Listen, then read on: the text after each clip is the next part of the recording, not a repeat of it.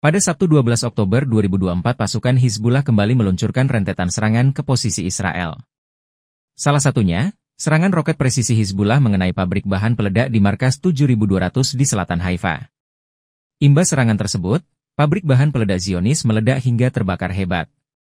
Dilansir dari Al-Mayadeen, hal itu diungkapkan langsung oleh pasukan Hizbullah dari Lebanon. Dalam laporannya dijelaskan bahwa roket presisi yang diluncurkan pasukannya sukses mengenai sasaran dan meledakkan pabrik bahan peledak Israel. Namun Hizbullah tidak menginformasikan soal total korban jiwa dalam peristiwa tersebut.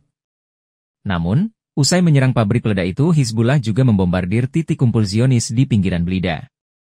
Dalam serangannya kali ini, Hizbullah mengatakan bahwa sejumlah tentara tewas dan terluka usai terkena peledak yang mereka luncurkan.